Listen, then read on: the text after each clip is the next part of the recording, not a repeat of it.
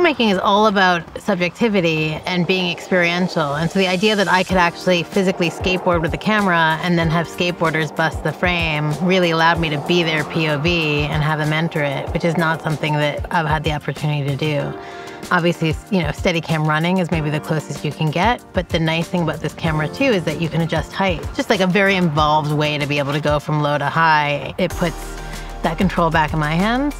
I mean, I've been very fortunate to work with some of the best Steadicam operators in the world, but sometimes it's nice to just roll around on a one wheel and then shoot your friends while they're skateboarding. The concept of the z-axis is to have this extra sort of vertical I don't know, to eliminate like footsteps, any extra vertical movement, unwanted vertical movement, I suppose.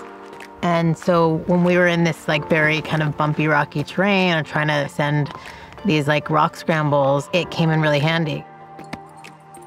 Especially on bumpy roads, really trying to be a fixed, you know, fix everything about my handheld position to kind of keep it as steady as I can.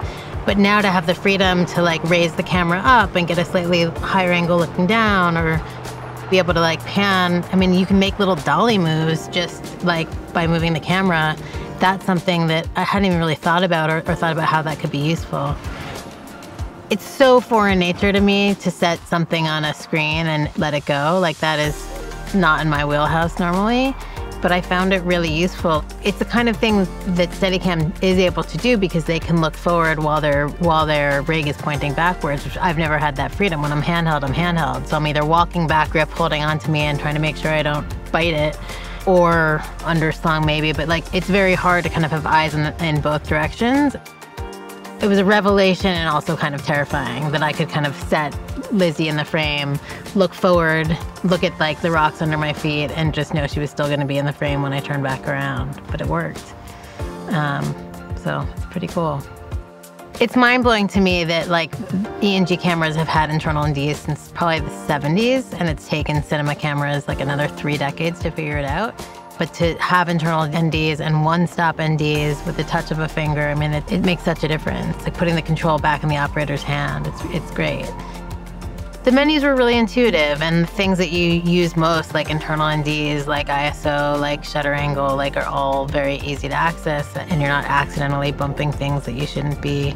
Anything can be locked. Like the integration of sort of automatic functionality and manual functionality seemed to be, you know, pretty intuitive.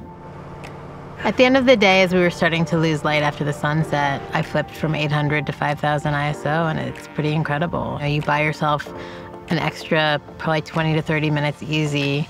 You have you know definition in the sky still and in the scan, and you can light an entire scene with with the headlights of a car. It's often hard to be a one-man band, you know, and, and to have that control where you can lead somebody on a one wheel or on a Segway or on a golf cart or move in a, a car. I think there's probably a lot of really dynamic things you could do in, in a documentary sense. I still feel very green with this camera, but after one day, I feel like I see the potential for what it could be. And I think that there uh, are really exciting possibilities for what people can do, especially at like a prosumer level. So I think by giving a singular person the ability to like make these tracking moves, do these complicated, potentially complicated setups, it just enhances the idea of a subjective experience and like singular vision. And then you, you know, you take somebody who has a really specific idea for something and they can execute it themselves. And I think it, it could lead to some really cool independent filmmaking.